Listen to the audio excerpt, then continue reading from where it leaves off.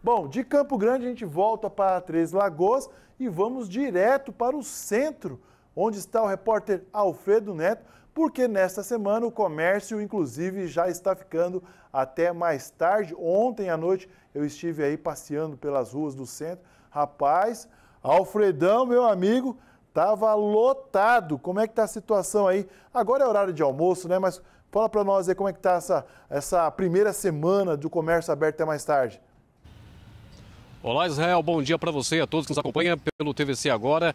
A movimentação deu uma tranquilizada, é claro, horário de almoço, mas a movimentação é constante por conta das pessoas que vêm até a área central já para fazer aí a aquisição de alguns produtos. Agora com a decoração natalina, é claro, a cidade fica muito mais chamativa a atenção, então os lojistas estão aproveitando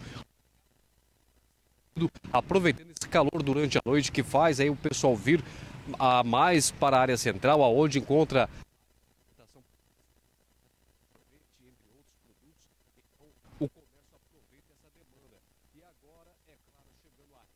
para o Natal, chegando para a reta do Natal, os comerciantes aproveitam aí para poder fazer aí esse atendimento com horário mais estendido. A partir de amanhã, Israel, o comércio já fica até às 17 horas. Até às 17 horas, comércio aberto aqui na área central. No domingo vai depender aí de cada lojista em acordo com os funcionários. Aí a partir de segunda-feira é até às 22 horas para aqueles que desejam vir à área central para fazer as compras. Então, para domingo, quem não vai trabalhar e vai vir à área central, vai ser bom aí fazer uma caminhada para ver quais lojas estarão abertas por conta desse acordo coletivo entre funcionários e patrão. No sábado, todas as lojas vão estar até às 17 e a partir de segunda vai até às 22, Israel.